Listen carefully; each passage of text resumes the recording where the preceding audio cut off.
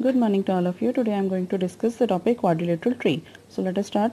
So first is in quadrilateral tree we are having a parallelogram in quadrilateral tree. Parallelogram is also a quadrilateral. A kite you have seen that is also a quadrilateral and a trapezium. So let us uh, discuss one by one. So in parallelogram, parallelogram means we have all the sides are parallel. Clear? And these two sides are parallel and these two sides are parallel in a parallelogram opposite sides are parallel and opposite sides are equal also.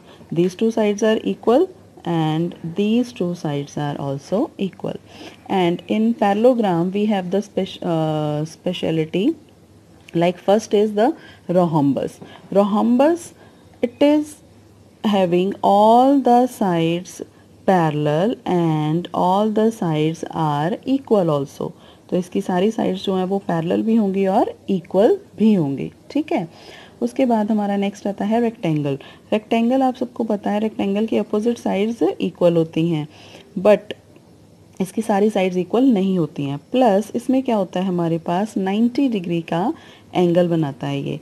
At every edge it is making a angle of 90 degree a rectangle next is the special case of rhombus and rectangle that is a square जो special case है rectangle और rhombus का that is a square in which all the sides are equal and parallel plus it is making 90 degree angles तो सारे के सारे angles जो हमारे हैं 90 डिग्री होते हैं बट इसकी सारी की सारी साइड्स इक्वल और पैरेलल होती हैं clear so next is our kite. In kite, we know the opposite sides are equal like the, these two sides are equal and these two sides are equal.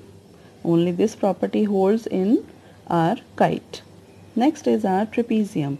So trapezium, in trapezium only one pair of sides is parallel to each other and its special case is the isosceles trapezium.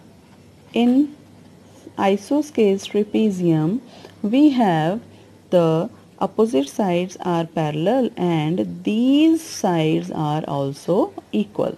Clear? Opposite sides are parallel and these two sides are also equal. That is called isosceles trapezium. I think you understand the quadrilateral tree. Thank you so much